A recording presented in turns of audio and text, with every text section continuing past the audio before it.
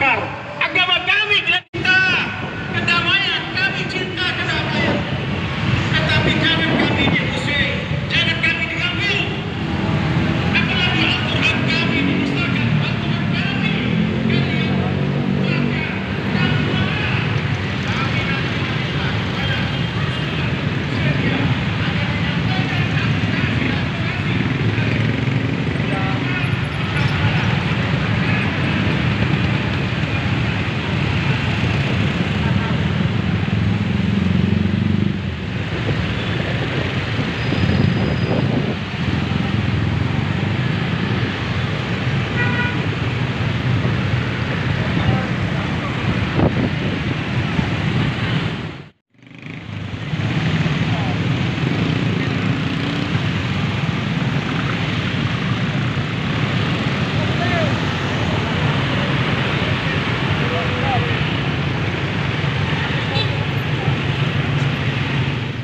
laki-laki yang merasa laki-laki dari peserta aksi kita untuk pindah ke sebelah kiri dari mobil komando kita. Karena yang di sebelah kanan itu tempat kita tidak ingin aksi ini bercampur baur antara laki-laki dan perempuan. Laskar tolong arahkan mobil kita ke depan. Kepada para laskar mohon supaya mobil komando yang kedua bisa hadir di depan mobil komando kita.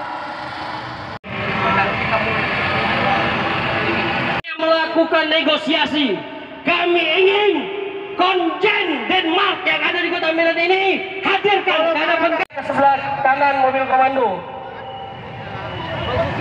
Baik, kita mulai aksi kita. Dari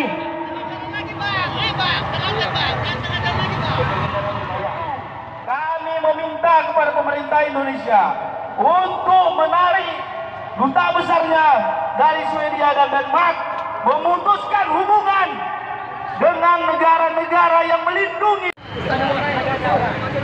Takbir! Selanjutnya kita Jangan kita seberapa kuat pagar kawan betis ini menghalangi langkah niatan dan perjuangan kita untuk memuliakan kepada aparatur yang kami hormati. Hari ini kita warga negara Republik Indonesia menunjukkan sikap kita, cinta kita kepada negara Republik Indonesia yang berdasarkan Pancasila dan Undang-Undang Dasar Negara Republik Indonesia tahun 1945. Dalam hal ini, kita menunjukkan konstitusionalitas kita sebagai warga negara yang mempunyai hak asasi yang dilindungi oleh masyarakat dunia internasional dan sebagai organisasi internasional. Dan kita menunjukkan protes kita kepada negara-negara yang memusuhi bangsa-bangsa, termasuk bangsa yang mempunyai keyakinan terhadap agamanya. Hari ini, negara Republik Indonesia yang secara faktual merupakan mayoritas umat Islam terbesar di dunia merasa hak asasinya dikecam, dihina.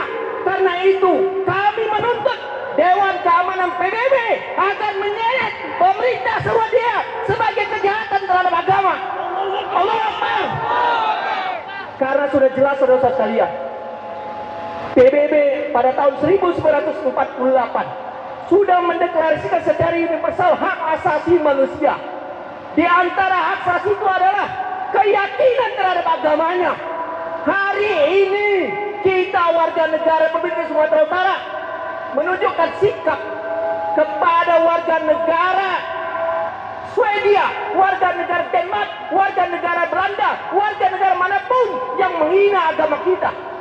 Jelas bahwa Al-Quran adalah rukun iman kita. Bahkan Al-Quran mengatakan dalam keimanan kita bahwa Al-Quran itu bagian dari iman kita. Iman kita percaya kepada Alkitab. Bukan langsung dikatakan dalam ijtihadnya ulama mengatakan bahwa beriman kepada Al-Quran, tapi kepada Alkitab. Alkitab maksudnya di sini adalah bahwa di dalam Al-Quran dinyatakan Khatimul Anbiya, bahwa Rasul pembawa Alkitab yang terakhir adalah Muhammad Rasulullah Alaihi Wasallam. Bahwa Al-Quran adalah kitab yang mencerminakan segala kitab agama. Karena memang Al-Quran telah diakui oleh Alkitab sebelumnya. Karena itu, hari ini kita menunjukkan bahwa secara hukum warga negara yang namanya Rasmund Paluda itu telah melakukan kejahatan terhadap agama. Apalagi pemerintah Swedia dalam hal ini secara terang-terangan melindungi Rasman Palugan untuk menyuarakan aspirasinya sebagai tanda kebebasan. Padahal kebebasan itu tidak ansih miliknya individu. Tapi kebebasan diberikan kalau dia menghormati hak orang lain itu baru namanya kebebasan. Tapi hanya itu kita melihat bahwa beberapa tempat juga di Denmark dan Belanda juga dilakukan demikian.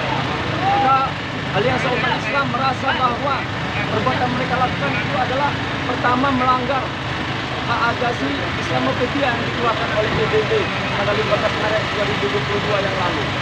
Kemudian yang kedua itu menjadikan hak asasi umat Islam sebagai kitab suci umat Islam yang menjadi kitab yang dimuliakan itu dihinakan sebagai kitab suci umat Islam dari seluruh dunia. Hari ini Aliansi Umat Islam Sumatera Utara mengecam dengan sikap dilakukan kegiatan untuk rasa untuk menolak perbuatan pembakaran Al-Quran itu. Itu pertama. Kemudian yang kedua, bahwa kita minta pemerintah agar mensikapi tegas kedua bahkan aturan yang dilakukan oleh orang-orang yang benci pada Al-Quran untuk mengeluarkan orang-orang Serbia, Denmark, dan orang Belanda sekalipun yang mereka melakukan penghinaan itu. Karena kita mayoritas umat Islam sudah terhina di sini dan tidak punya harga untuk mengeluarkan mereka.